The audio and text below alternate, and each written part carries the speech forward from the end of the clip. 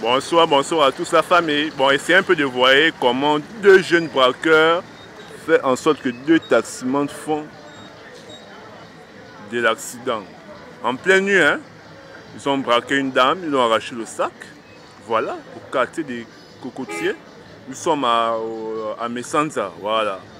Messanza, Messanza. Regardez un peu, regardez un peu comment les petits braqueurs font en sorte que les véhicules font des accidents. Après, tous les jours, on contrôle, on contrôle. Entre temps, il y a des vrais problèmes. On n'a pas la sécurité routière dans les MAPAN. Regardez un peu, tout le temps, la police, la gendarmerie vient faire du contrôle ici en attrapant des clandomanes, mais ils n'arrivent pas à attraper des bandits. Regardez un peu ce que les bandits ont fait. Mais là, on ne voit pas la police. On dit qu'il y a une sécurité dans la voie publique. Où est la sécurité routière? Regardez un peu. Regardez un peu, ils ont causé des accidents. Parce qu'ils ont arraché le sac, ils ont braqué même les deux taxis là.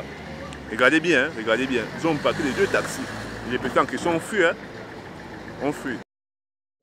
faut appeler le constat, ils arrivent au constat.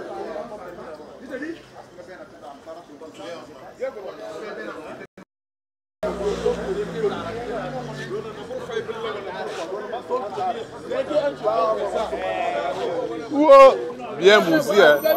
Oh, monsieur, calmez-vous, calmez-vous. Oh, doucement, doucement. Hein. On vient à peine de braquer les gens là, doucement. Oh. Vous voyez pas ça On vient à peine de braquer les gens. On cause des accidents ici. Est-ce que c'est normal Hein oh. Doucement, doucement, allez-y.